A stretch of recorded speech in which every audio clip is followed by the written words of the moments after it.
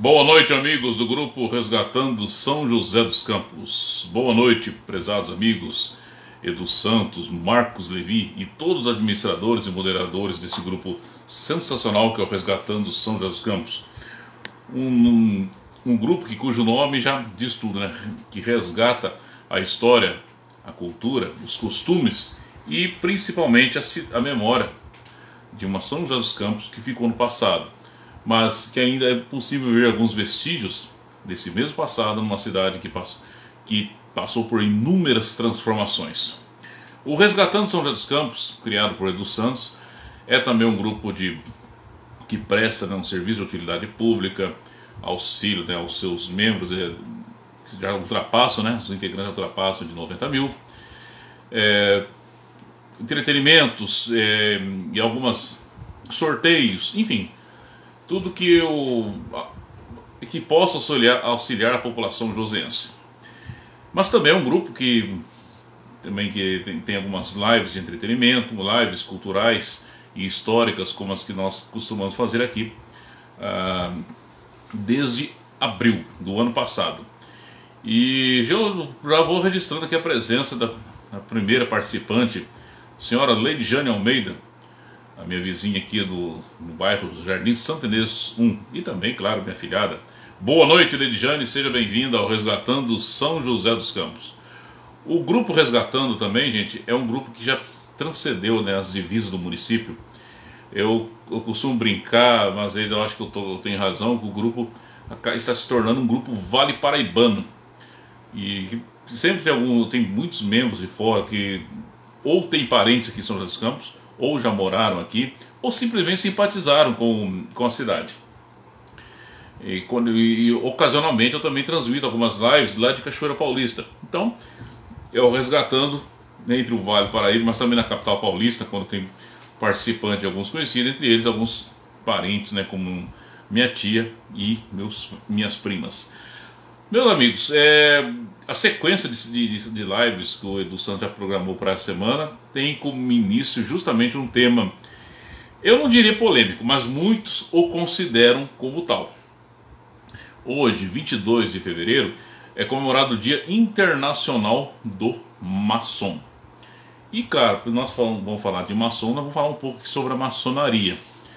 Que já adianto, não tem nada a ver com pactos demoníacos, com possessões, com rituais macabros.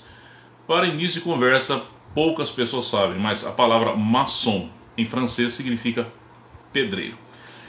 É um grupo, é um grupo, é, é uma instituição já bem antiga, inspirada em, em simbologias do, do antigo Egito, mas que surgiu já no, começou a se formar e, e se estruturar na, ainda na Idade Média, mas ganhou força mesmo, foi já a partir do século XVI e configurando, acompanhando também é, com a ascensão da burguesia que vai se rompendo algumas amarras até atingir o poder político de fato com a Revolução Francesa. E está aqui também registrar a presença do meu querido amigo César Lourenço Boa noite, César. Seja bem-vindo ao Resgatando São José dos Campos. César, com certeza, tem ótimas contribuições para o tema de hoje, né, César? Maçonaria. Gente, então vamos aqui, né? É, para contextualizar, nós temos que ter a definição do que é maçonaria. Segundo o site Aventuras na História, que é o que eu mais sigo, que até enquanto eu, por enquanto eu considero o mais completo. Existe outro, né? História digital que eu sigo também, o iconografia da história, o info história. Estou pesquisando agora para verificar uh, outros sites é, relacionados à história, mas por enquanto o Aventuras na História é o mais completo, é o mais contundente, é o mais imparcial, que isso é importante.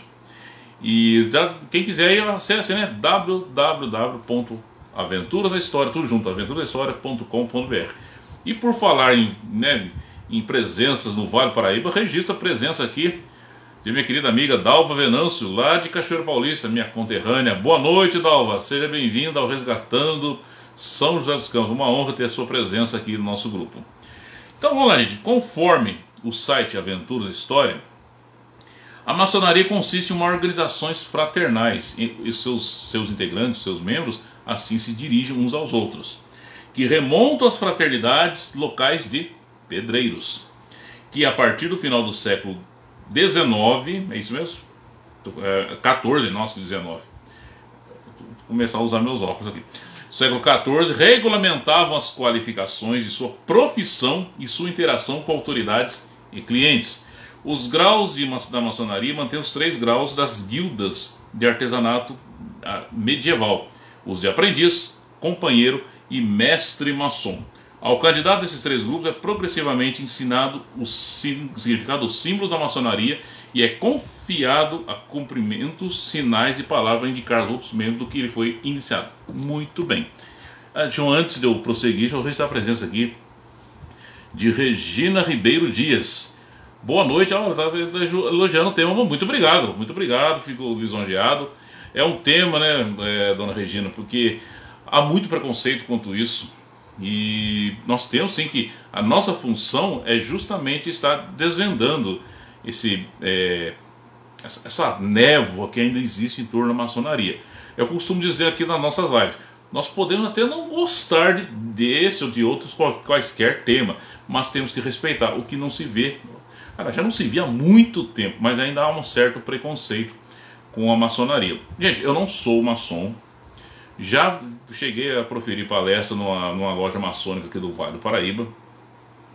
É, eu não vou citar o local da cidade, acho que não é o caso, mas eu fui muito bem recebido, é, fui muito bem acolhido e eu pude constatar em loco o que eu já havia aprendendo em história.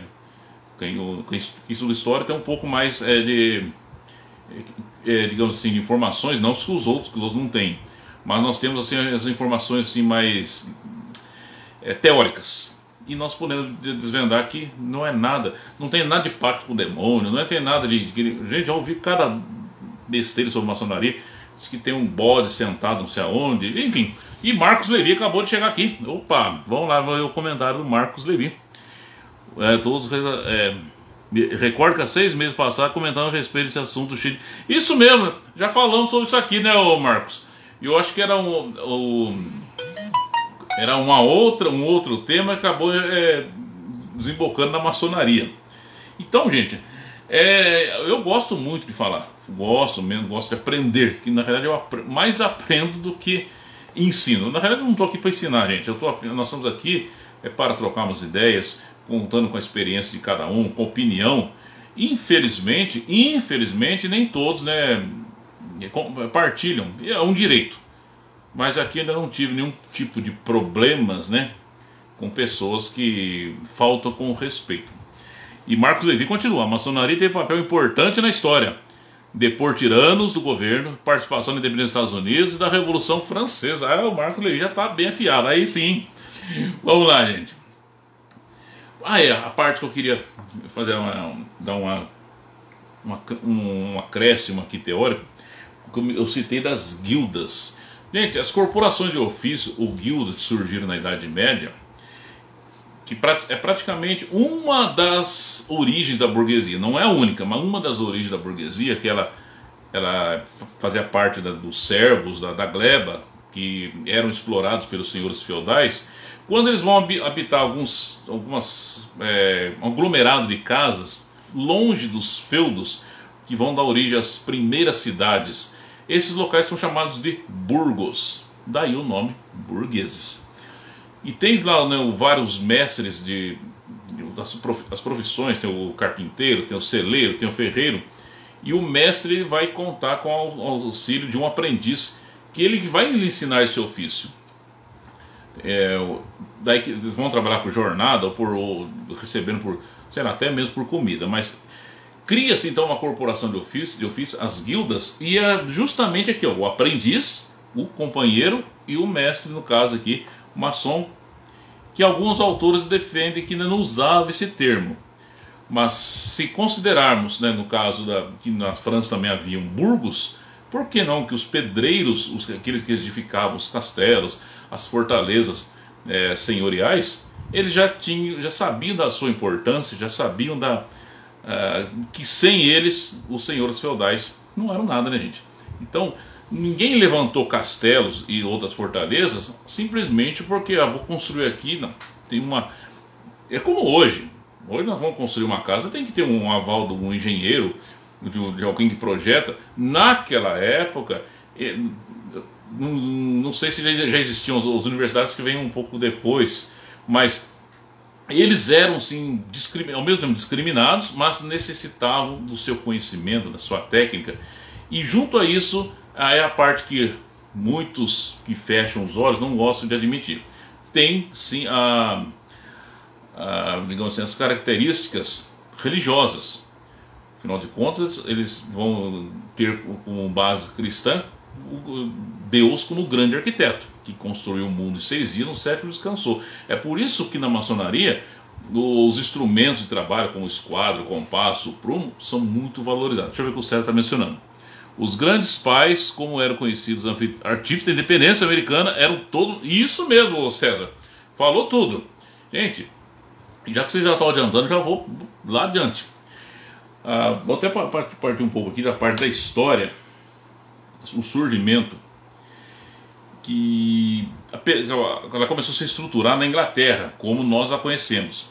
Desde meados do século XIX, continua o site Aventura da História. Os historiadores maçônicos buscam as origens do movimento e uma série de documentos semelhantes, conhecidos como manuscritos maçônicos. É claro, né, gente? Se tem, se tem historiadores católicos, tem historiadores evangélicos, tem historiadores comunistas, se tem historiador, até historiador que vai justificar o nazismo. Tem historiadores judeus que vai fazer o contrário mas tem também os historiadores maçônicos que eles querem buscar suas origens, independente para não cair naquela mesmice de ficar à mercê de um historiador católico, por exemplo, que vai falar totalmente ao contrário à maçonaria. E esses documentos datam do ano de 1425 e aludia ao pertencimento de uma loja de pedreiros, olha aqui, pedreiros na Inglaterra, operativos que relaciona uma história mitologizada aos deveres, suas notas e a maneira pela qual os juramentos de fidelidade devem ser tomados ao ingressar. O século XV também vê a primeira evidência do rito cerimonial. Gente, tem muito, vários ritos, cada local tem o seu, segue o seu rito. Deixa eu ver aqui a parte. A primeira grande loja, a Grande Loja de Londres e Westminster, depois se tornou a Grande Loja da Inglaterra, eles, usam, eles chamam os templos de lojas. Quando criança eu achava que era loja mesmo, eu achei que era loja, chegar lá comprar uma coisa. Eu fui criado numa família católica, então imagina o que, que foi passado a mim é, sobre a maçonaria. Longe de eu ficar desmerecendo a memória dos meus antepassados, mas era, era aquilo mesmo, é algo do demônio, até você citava a coisa da história do Brasil, é que, que os padres que seguiam a maçonaria também iam arder no fogo eterno, enfim, é a crença daquela época, mas também permeia alguns ainda por aqui no, no, no pleno século XXI. A maçonaria ela tem os seus segredos, é óbvio, mas eu garanto, e muitos aqui que estão participando, que já estou percebendo que já são bastante esclarecidos, vê que não é bem assim. E uma coisa também que já adianta aqui também, o, a marca da maçonaria, assim, acho que o que projeta a sua imagem é a solidariedade entre seus pares. Mas vamos lá, prosseguindo. É, ela foi fundada então no dia de São João, 24 de junho de 1717, quando quatro lojas se reuniram para um jantar conjunto. Deixa eu ver aqui. Muitas dessas lojas aderiram ao novo órgão regulador, que entrou em um período de autopublicidade e expansão. Porém, muitas lojas não podiam endossar as mudanças feitas no ritual pelo chamado moderno. Começou a haver uma cisão entre os maçons. E algumas delas formaram uma grande loja rival em 1751, que chamaram Grande Loja de. Nossa, gente, que nome esquisito aqui! Antienteda, Inglaterra. Essas duas grandes lojas disputava a supremacia até que os modernos prometeram voltar ao ritual antigo. E depois voltaram a se unir a formar a grande loja unida na Inglaterra. A sociedade, né, gente? Ela teve influência em como o César Lourenço adiantou isso. Teve é, influência decisiva em vários acontecimentos mundiais, como a Revolução Francesa, a independência dos Estados Unidos e aqui na história do Brasil. Deixa eu ver que a senhora Regina está mencionando eu estou gostando da participação dela também. Da participação de todos. A loja mais antiga do mundo, com atas, com os antigos deveres. Essa loja. Eu tô, eu tô assim porque eu, a, a letra aqui é branca eu, e acabo confundindo com a tela. Chama-se Mary Chapel, em primeiro em sua ata de presença, consta a presença do grão-mestre da grande. Nossa, informação. Ó, essa informação não está aqui no, no, no, site. Muito obrigado. Eu vou até depois, se a senhora me permitir, vou fazer um Ctrl C, Ctrl V, ou um print, vou vir estar tá acrescentando aqui nos meus dados. Muito obrigado, dona Regina. 1721. Muito bem. Vamos lá, gente. as guerras separatistas tiveram participação e na América. No Brasil deixou suas marcas, especialmente na independência do Brasil. Eu vou estar explicando um pouco por que, que a maçonaria inicialmente apoiou a monarquia aqui no Brasil. No Brasil deixou suas marcas, especialmente na independência, já mencionei. A Inconfidência Mineira, na Revolução Farroupilha e no extremo sul do país, tendo legado os símbolos maçônicos na bandeira do Rio Grande do Sul, no estado da Federação Brasileira. Vários estados também possuem símbolos maçônicos nas suas bandeiras, como Minas Gerais, por exemplo. Poucos percebem, mas ao longo do Vale do Paraíba, muitas cidades têm símbolos maçons nas, nas suas entradas. Aqui em São José tem bastante. Hoje estava conversando né, com uma conhecida que eu estava explicando isso. E muitas pessoas pensam que é uma letra A invertida, não é, gente? É o símbolo da, do, do de, assim, da, da maçonaria, é o compasso e o esquadro numa posição um sobreposto ao outro. Em algumas localidades tem a letra G, que é no caso do grão-mestre. E por que o, o, o, a participação na hora da independência do Brasil e depois nas, nos movimentos separatistas? Aqui eu vou adiantar um pouco. O que levou o que levou, digamos assim, a, o triunfo da Revolução Francesa, entre outras coisas, entre outras coisas, foi justamente o advento do iluminismo, a era das luzes, de um saber até então só talvez experimentado na Renascença. E pessoas como Montesquieu, Diderot, d'Alembert, eles vão dar subsídio literário e teórico para que o terceiro estado, parte dele, que no caso é a burguesia, e iniciam a revolução para tomar o poder político. A burguesia já tinha um poder econômico há muito tempo, desde o final do feudalismo, passando pelo período do mercantilismo, mas não tinha o poder político ainda. Então, o ideal da maçonaria para sistema de governo é sim o republicano. A república ela se confunde com a maçonaria. É, não por acaso, né, a maioria do, do, dos presidentes norte-americanos, por exemplo, até onde eu sei, são todos maçons. Isso é uma informação que foi acrescentada, inclusive, por uma, uma professora que, que eu conheço, que ela chegou a passar também, falar inclusive da, da ordem do Demolé, que, que é uma, como se fosse um preparatório nos Estados Unidos para ingressar na maçonaria. Mas aqui no Brasil, uma vez que a corte portuguesa fugiu de Napoleão, e para evitar o que acontecesse com, a, com o Brasil, mesmo que estava ocorrendo com a América Espanhola, foi fragmentada, a maçonaria aqui resolveu dar o apoio à causa emancipacionista, ou seja, o Brasil manteve-se praticamente unido territorialmente, apesar de participação da maçonaria em eventos como a própria Inconfidência, como já foi citado, é, como a Revolução Pernambucana de 1817, mas, por exemplo, o, os livros de história não mencionam os, os livros didáticos, mas o Dom Pedro I, ele se, se fez maçom, enquanto isso lhe foi interessante. Ele se fez maçom, ele foi é, batizado, não sei se eu posso dizer isso aí, como Guatimozin, mas o grão-mestre era ninguém nada mais nada menos que o, o patriarca da independência, José Bonifácio de Andrade Silva. E sob o iluminismo, aqui, muitos iluministas se, se filiaram às lojas maçônicas como lugar seguro intelectualmente. Claro, né, gente, imagina uma época que vai falar contra o antigo regime, em que o rei era rei porque se considerava abençoado por Deus. Então eles eram muitos perseguidos. Então esses iluministas vai encontrar briga nas lojas maçônicas e isso vai ser uma união propícia para justamente a eclosão da revolução que vai acontecer em 1789 com a tomada da Bastilha apropriado né, o, informações para discussão de suas ideias é um ambiente intelectual.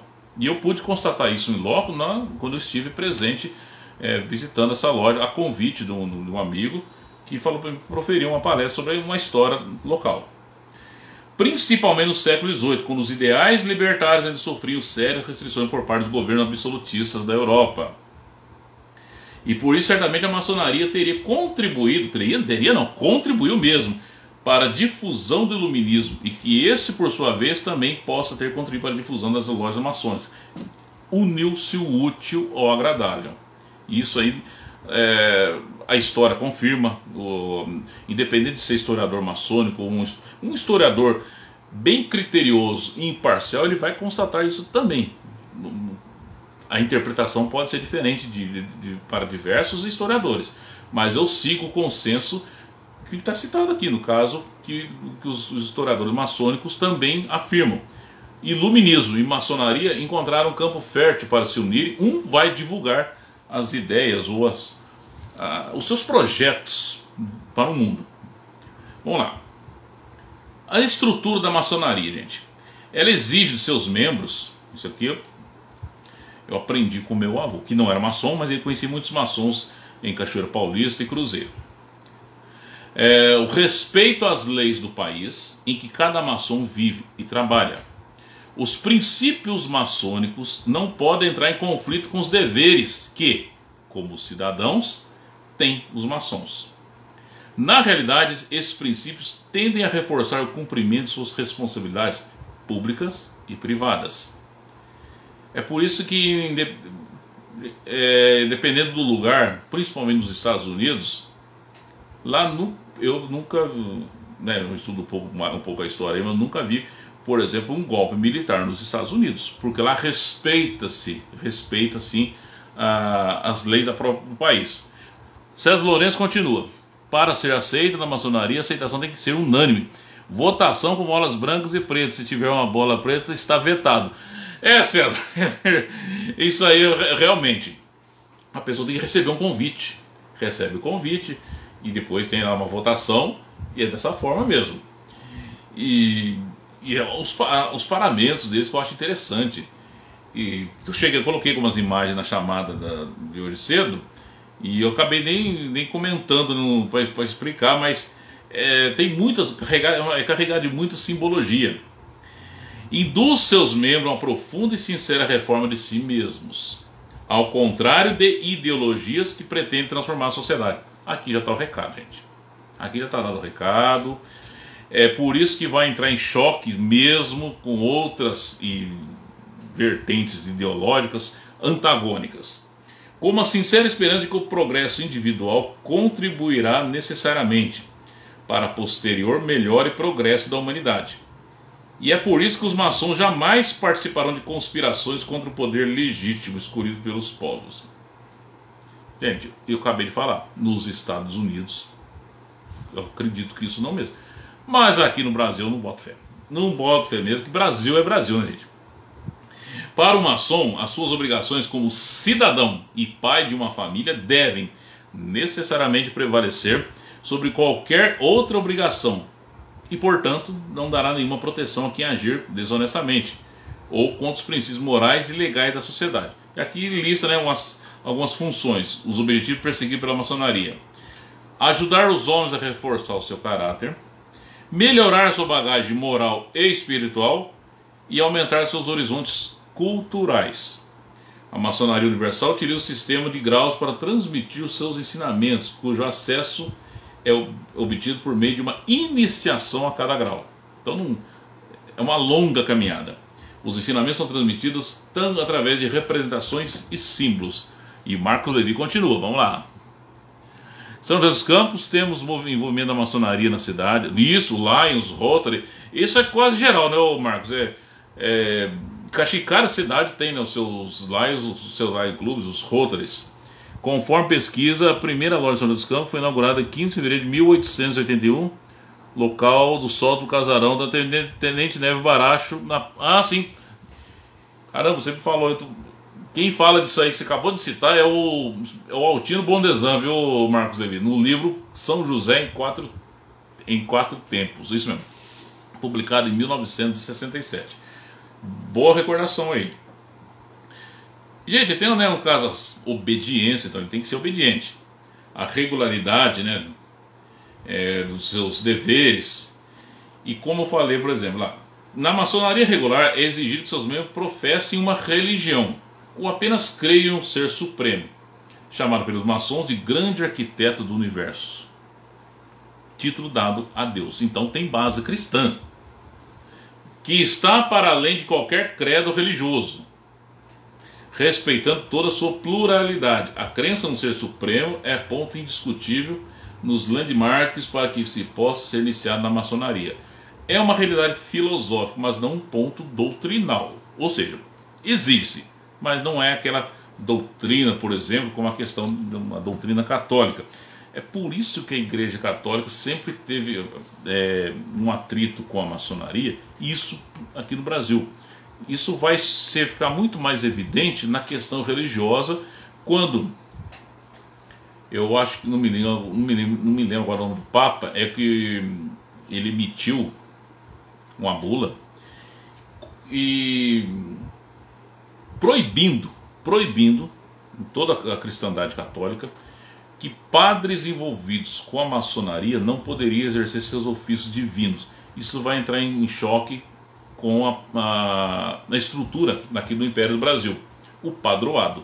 O padroado é um sistema herdado dos, de Portugal, em que padres, bispos, até cardeais, aqui no Brasil eram como se fossem funcionários públicos. Poderiam ser nomeados pelo Papa, mas teriam que ser reverenciados, ou referendados, no termo esse, referendados pelo Estado Imperial. Ou seja, até então, o próprio imperador, se não fosse maçom, mas ele era simpatizante da causa. E a maçonaria, por enquanto, está ali, latente. Ela vai começar depois a se libertar dessas suas amarras, principalmente depois da Guerra do Paraguai mas a questão da religiosa, ela, isso mesmo, não é dogmática. Bem lembrado, César. Ainda bem que vocês me ajudam aqui, gente. Mas, ah, enfim, o, o, Papa acabava, a Santa Sé acabava concordando. Então, padres, muitos maçons, celebravam isso normalmente. É como se houvesse uma harmonia. E é assim que deveria ser essa harmonia. É como eu sempre falo, e vou levo para o lado ideológico também as pessoas, político ideológico, as pessoas podem não concordar com o pensamento deste ou daquele, mas o respeito.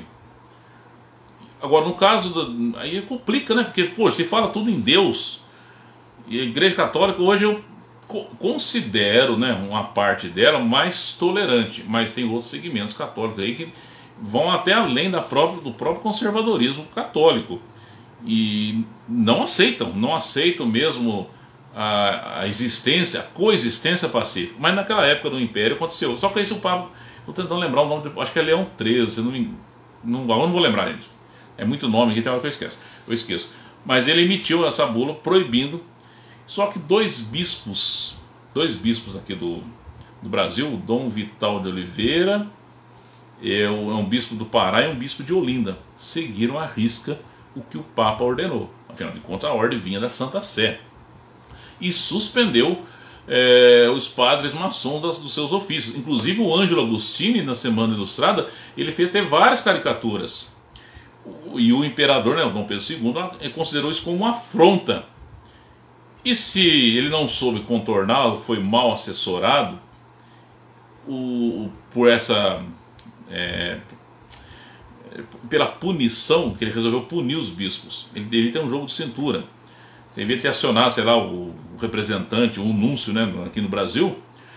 Não, resolveu punir. Olha, mandou prender e foram condenados a trabalhos forçados, os bispos. Para aquela época, para o mundo católico do Brasil, isso foi um horror. Depois que viu que o estrago estava feito, a igreja retira o apoio do, do, ao Império do Brasil. É a questão do ultramontanismo o Império já começava a vir em frangalhos, já estava começando a vir em frangalhos depois da, de várias crises, mas a, a Guerra do Paraguai só apenas acelerou. Perde o apoio do exército, que o exército volta já com ideias republicanas, também já maçônicas, no contato com as repúblicas do Prata.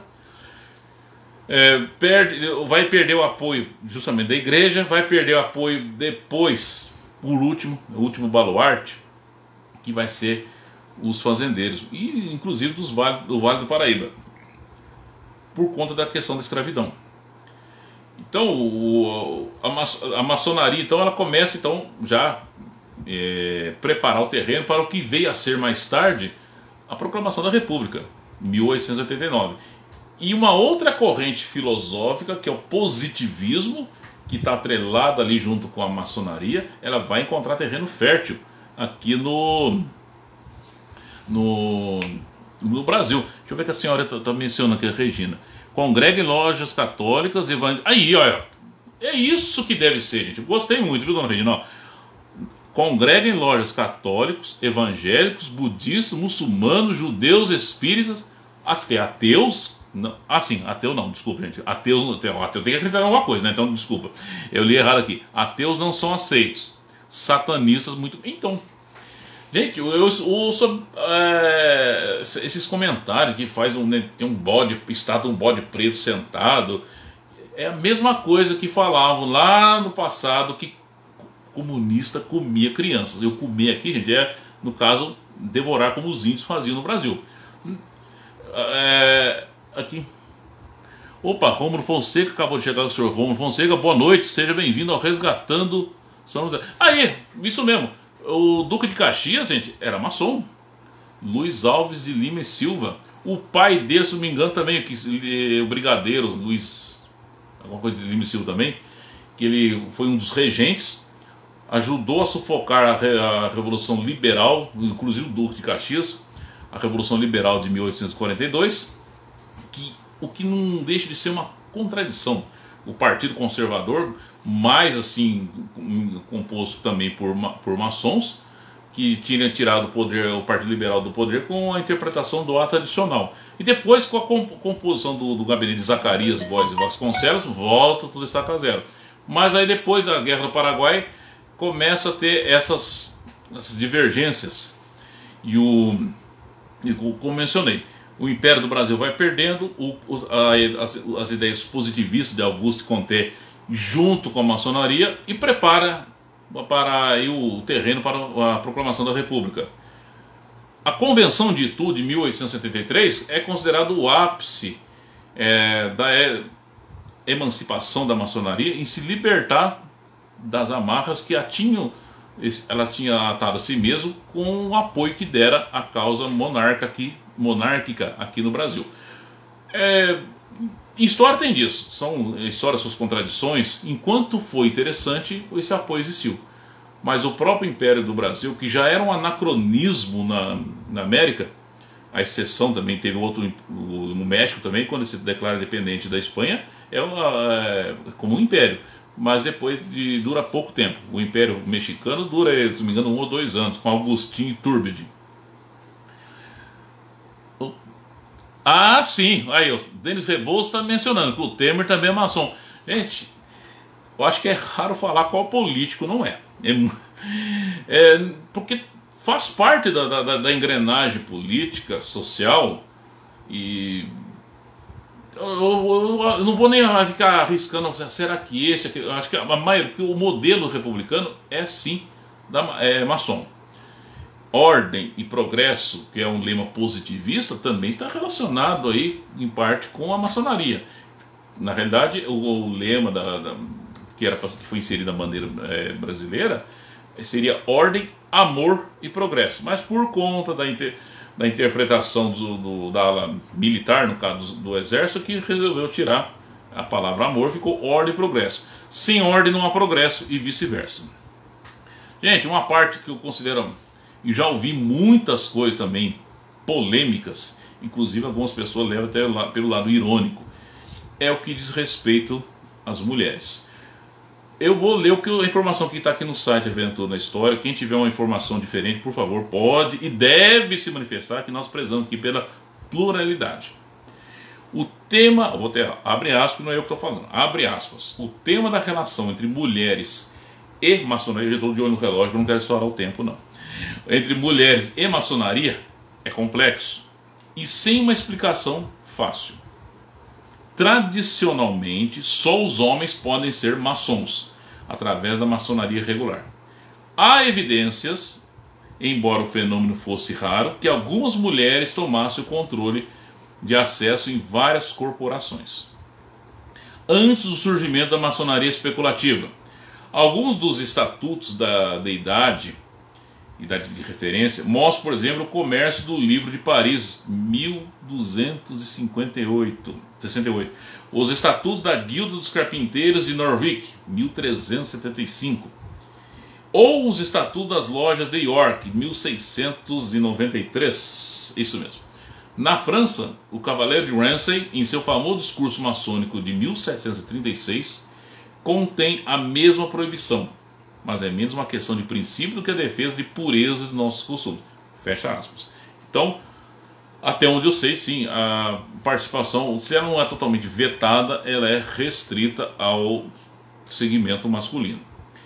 E aqui, no caso, tem vários ritos, né, gente? Olha, a maçonaria é composta por graus simbólicos, filosóficos, que eu já mencionei, e cada rito, são vários ritos, mas cada rito tem suas características particulares, assemelhando-se ou divergindo. Há divergência também, não é unânime, de um outro em aspectos gerais, em detalhes, mas convergindo em pelo menos um ponto comum: a regularidade maçônica.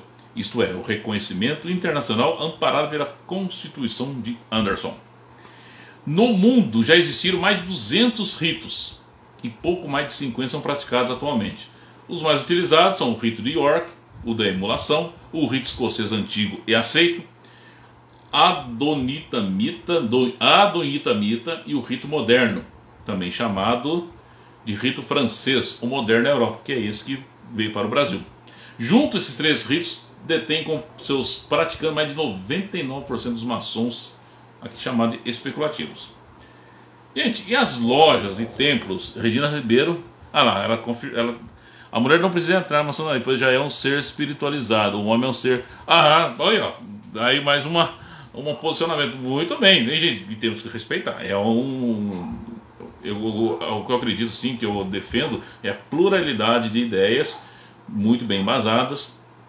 Que aqui não se trata de fake news. E, gente, eu já vi cada coisa que, olha, é absurdo. É por isso que eu gosto muito da participação. E aqui, né, no caso, uma senhora está dando a sua contribuição para o resgatando do São José dos Campos. Uma coisa que eu acho interessante, os maçons juntos se formando lojas maçônicas para trabalhar nos graus simbólicos. As lojas não são os edifícios onde se reúnem. Aqui, ó, isso aqui é interessante. Não é o prédio em si que tem características é, ao mesmo tempo gregas, com aqueles pilares. Eu acho, eu acho bonito aquela gente. Aqui em São José dos Campos já, eu já vi, já passei. Em Cruzeiro também tem lá, fica na, na, na rua Nesrala Rubês. Aqui, se não me engano, na Mário Galvão. Se eu te falei errado, alguém me corrija, por favor. Mas o, assim, digamos, o telhado, sei lá se é o, o, o teto em forma de pirâmide por conta da questão da Santíssima Trindade por que, que do, do, da, da, uma das símbolo, do símbolo da maçonaria ser aquele triângulo com o olho dentro? É a, Santíssima Trindade converge o olho, olho de presente onisciente de Deus, o arquiteto do universo, que tudo vê, tudo percebe. Então, as lojas aqui não são os prédios em si. Como eu, na minha é, inocência quando criança, eu achava que era uma simples uma loja. Mas vamos comprar o que numa loja? Mas não, é, não se trata disso. Eles eh, não são edifícios reuniões, mas a própria organização também pode ser cedida pelos maçons a ordens patrocinadas pela maçonaria. Também há um, uma espécie, assim, eu diria, de auxílio com até convênio, né? Por exemplo, com uma ordem demolé, mas tem que é, congregar dos seus próprios princípios, gente. E a ordem dos escudeiros da Távola Redonda, que vai fazer uma uma comparação lá na Idade Média, na época da Inglaterra. As diversas maçonarias nacionais são divididas por oficinas, que podem ser constituídas por lojas ou por triângulos maçônicos, ou ainda no rito escocês, com no mínimo sete maçons, nos quais três são mestres. Aqui tu fala também do, dos, do, dos graus maçônicos, é bastante extensa a referência feita ao Templo de Salomão.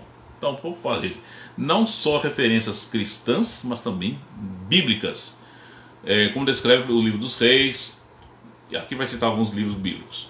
E deixa eu registrar a presença de Ofélia Vitória. Boa noite, Ofélia, seja bem-vinda ao Resgatando São José dos Campos. Muito obrigado por essa participação. Gente, eu vou. De... Aqui, ah, tem uma parte aqui. A decoração do templo também é codificada. Uma é fixa, com alguns elementos mudam. Aonde eu estive, eu me, me encantei. Eu, falar, eu não sou maçom, volto a dizer, não sou maçom. Fui muito bem acolhido, fui, fui tratado com uma, sei lá, uma referência, uma reverência que talvez eu não merecesse. Mas não, fui convidado, fui muito bem tratado. Nós é, abriu espaço, inclusive abrimos espaço para a, o debate, que foi muito interessante. Mas eu fiquei encantado com a estrutura interna. Ou seja, isso foi em 2017, aos 47 anos, faz 4 anos, aos 47 anos eu constatei, em loco, não posso dizer, é, pessoalmente, o que eu já sabia através de livros, mas que consegui descortinar, ou seja, já não sabia que era dessa forma, que, era, que não era da forma como muitos no passado tinham passado para nossas crianças. Marcos Levi menciona que para entrar na sociedade é necessário um convite e aprovação ah, da esposa. boa, Marcos, boa. Tem, verdade. A decoração né, modificada, uma corda a nós, o ramalhete serrilhado, o radar do templo, abaixo do limite, enfim, tem vários aqui que eu acho que não precisa. É, é, quem manda, concordo plenamente.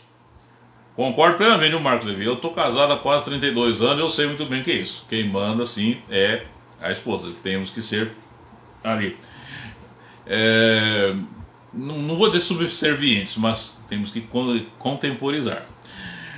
Bom lá, gente. É, vamos outra parte aqui que eu acho interessante a presença mundial. No Brasil, vamos falar aqui então do Brasil. Voltar a falar de Brasil, né?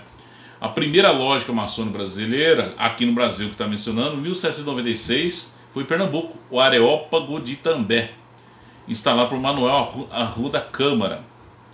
Esse foi o padre, olha gente, olha aí, um padre carmelita que deixou a batina para estudar medicina na Universidade de Montpellier, na França. Eu só eu lembrando isso aqui que eu aprendi isso na faculdade, estou tô, recordando isso daqui, ó. Após se especializar em botânica, ele retornou a, a, a Pernambuco. Ele fundou a Sociedade Filosófica e viria influenciar anos mais tarde a conspiração dos Suassunas e a Revolução Pernambucana. Gente, a Revolução Pernambucana ela foi um, é uma tentativa de, de, de, de, implantar uma república de fato no Brasil, com ideais liberais, liberais maçons, como estamos, estamos vendo aqui. E, claro, foi duramente reprimida pelo Conde dos Arcos. Sete anos depois, já no, no período da independência, volta, aí é, não é só em Pernambuco, é a Confederação do Equador, que vai contestar a autoridade do imperador Dom Pedro I. E todos, a maior parte dos seus líderes são enforcados, não adiantou pedir clemência para o imperador, para mostrar a sua autoridade. E olha a contradição, gente. É o Dom Pedro I sempre foi bem assim contraditório sabendo que muitos maçons estavam envolvidos nessa conspiração, ele ainda sendo um maçom, ou pelo menos se dizia maçom, como o caso aí que ele era batizado como Guatimozin, ele não titubeia. Inclusive, ele manda fuzilar o Joaquim do Amor Divino, Frei Caneca. César Lourenço prossegue. A maçonaria, apesar de ter ser arquitetada, ter arquitetado a independência americana, foi perseguida. Lá não me recordo a data, mas parece na década de 30.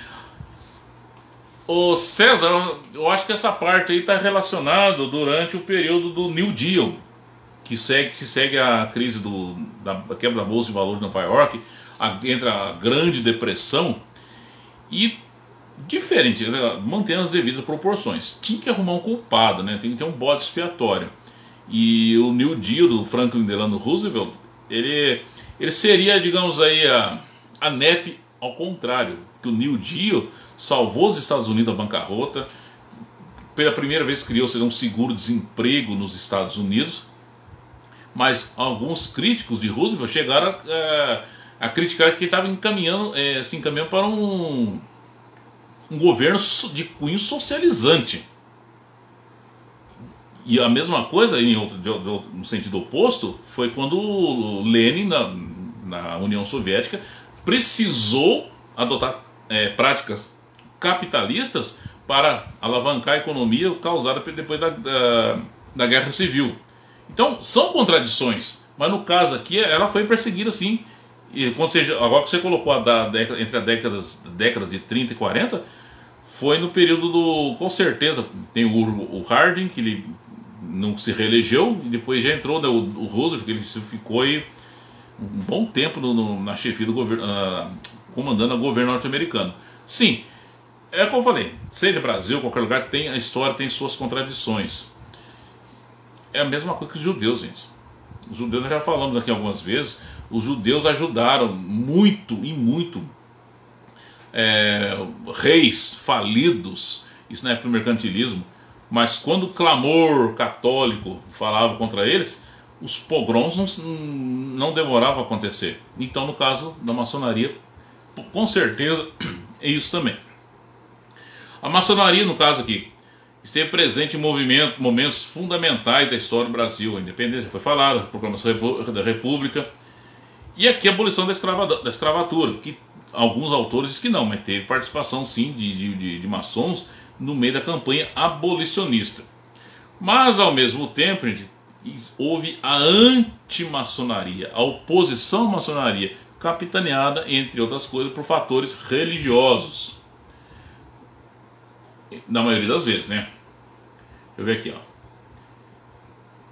foi definido como uma oposição à maçonaria. Não há um movimento antimaçônico homogêneo. Não, assim, não, existe, não existiu assim, de uma forma glo, glo, é, global, diria assim, uma perseguição como houve contra os judeus. Os judeus sempre foram perseguidos. Judeu era. Fala-se muito do holocausto nazista, e realmente é o que aconteceu, mas muitos ao longo da história, judeus foram é, perseguidos, assassinados e a da maçonaria também. Aqui o site menciona alguns lá. Os críticos incluíram grupos religiosos, políticos e teóricos da conspiração. Aqueles que defendiam as teorias da conspiração maçônica, como a teoria da conspiração judaico-maçônica. Ou a conspiração judaico-maçônica comunista internacional. Gente, eh, não dá para. Mas as pessoas, para perseguir, inventam muita coisa. Olha as contradições conspiração judaico-maçônico comunista internacional. Certos antimaçons de destaque, como Nesta Helen Webster, 1876, é onde nasceu e morreu em 60, criticaram exclusivamente a maçonaria continental, havendo boatos contra a maçonaria que data do século XVIII.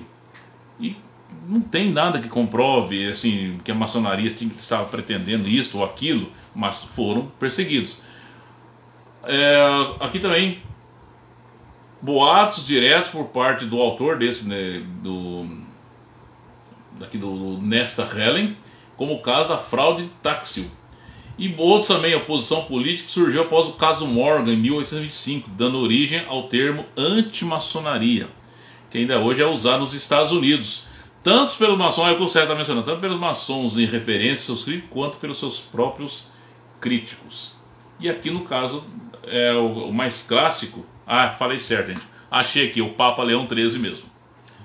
O Papa Leão XIII foi um dos mais ferrenhos opositores à sociedade secreta, a qual designou o reino, reino de Satanás em 1884. A sua última condenação data de 1902, na encíclica Annum Ingresse, endereçada a todos os bispos do mundo, em que alarmava da necessidade urgente de combater a maçonaria, opondo radicalmente essa sociedade secreta ao catolicismo. Há acusações sobre Paulo VI e alguns cardeais da igreja relacionados a uma loja. É claro, gente, eu não duvido, eu não duvido, porque nem sempre aquele que critica, que ordena, ele tem lá, desculpa a expressão que vou usar aqui, tem o seu rabo preso. E não escapa muito, inclusive a muitos líderes católicos. No Brasil Império havia clérigos maçons e a tentativa de alguns bispos ultramontanos. É o que eu, citei agora há pouco, a questão religiosa. Dom Vital, bispo de Olinda, recebeu forte apoio popular, mas foi preso pelas autoridades imperiais. Até 1983, olha, perto de nós, perto de nós. Até 1983, a pena para católicos que associassem, associassem a, a, a maçonaria era ser excomungado. Eu tinha 13 anos. Com a formulação do novo Código de Direito Canônico, que não mais condenava a maçonaria explicitamente, muitos pensavam que a igreja houvesse aceitado. A igreja não aceitou. Ela tolera. No entanto, a Congregação para a Doutrina da Fé, que é o novo nome da Inquisição, um nome bonito, tratou de esclarecer mal entendido, afirmando que permanece imutável o parecer negativo sobre a maçonaria e apenas comunhão para os que eram se associaram. Quer dizer, disse e não disse. A mesma declaração foi um ano mais tarde reiterada e aplicada em todos os detalhes à luz dos novos tempos. Gente, a maçonaria também é perseguida pelo Islã, ou seja, pelos islâmicos. Eu não vou aqui me alongar muito, já está dando a hora já. Oposição política, aqui já falamos é, bastante, entre outras coisas. Agora, eu, eu relatei que eu estive numa, numa, num, num templo maçom para fazer uma, uma, proferir uma palestra, mas em 2012, ou seja, há nove anos, a Academia Cachoeirense de Letras e Arte, da qual faço parte, na época eu estava como membro adjunto. Ela foi, digamos assim, ousada, mas arrojada. E eu achei interessante que ela promoveu um debate né, na Câmara Municipal. Foi convidado um representante maçom, um padre salesiano e um ateu. E coube a este que vos fala seu mediador. Um do, não, não único, um dos mediadores.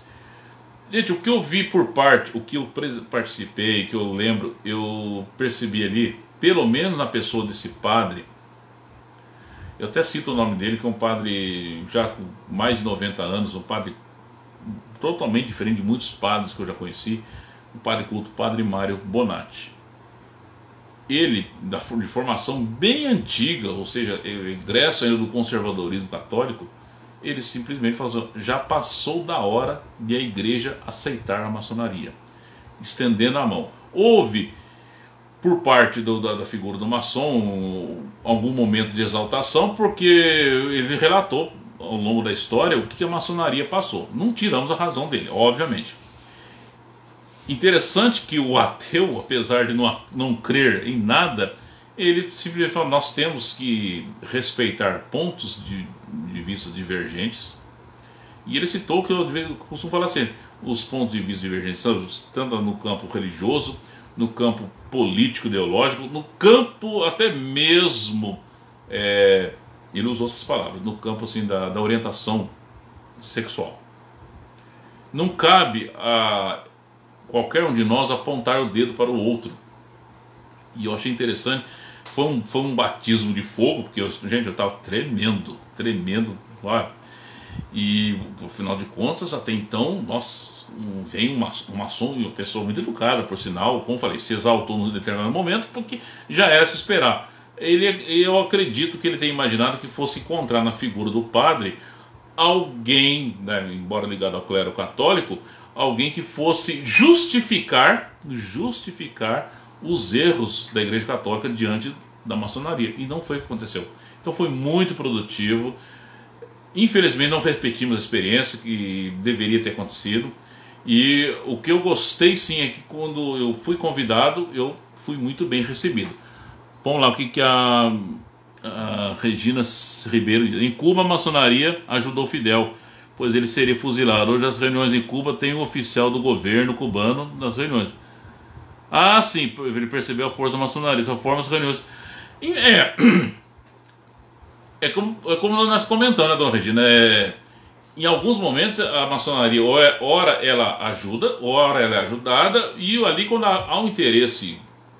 Fidel tinha os, os seus interesses, obviamente. E agora, questão de vigiar para quê, né? Não, cada.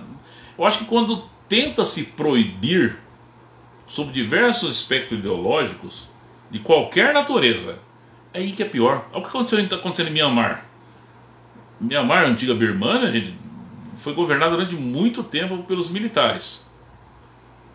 Veio né, terminou o período é, da ditadura, eleições livres e experimentaram uma fase de democracia. Agora foi, foi reeleito pela esmagadora é, maioria da população, com participação de observadores internacionais. E a primeira coisa que a junta militar fez quando tomou o poder e prendeu a presidente foi cortar o sinal da internet, proibindo aglomerações, é, passeatas, movimentos, e já tem três mortos. Agora Mianmar está tendo contra si o mundo todo. O secretário-geral da ONU, o Andrés Guterres, já está querendo levar o caso mais adiante. Então, para quê?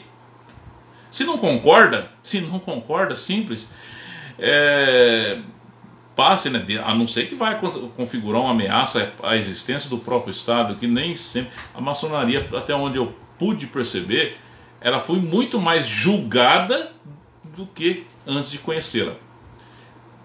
E eu, quando volto a dizer, quando criança, e eu fui orientado dessa forma. Eu fui coroinha, já falei. É, eu, os, os padres ali em Cachoeira Paulista falam a mesma coisa. Coisa do demônio, coisa do diabo, Satanás, como está aqui o Papa Leão XIII.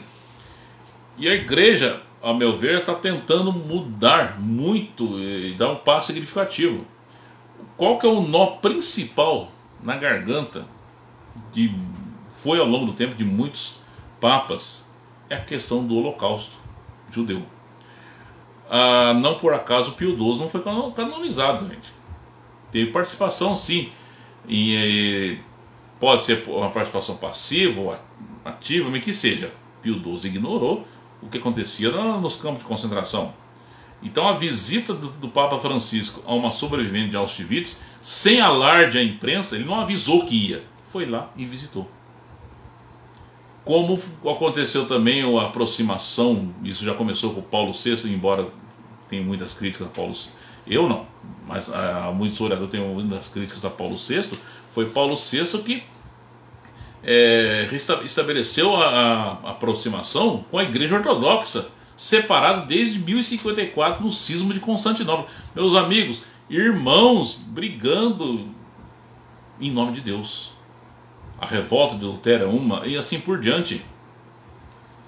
E, e, o Papa Francisco deu um passo, volto a dizer, fantástico. Eu creio, não, eu, eu creio eu, assim, que o Papa Francisco, se ele tiver, né, tiver mais um, uma longevidade, assim espero que tenha, ele não vai causar.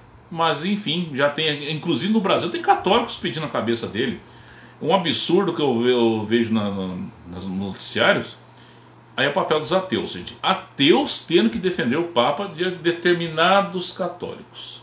Mas sobre a maçonaria, gente, foi um passo enorme. E eu pude presenciar isso.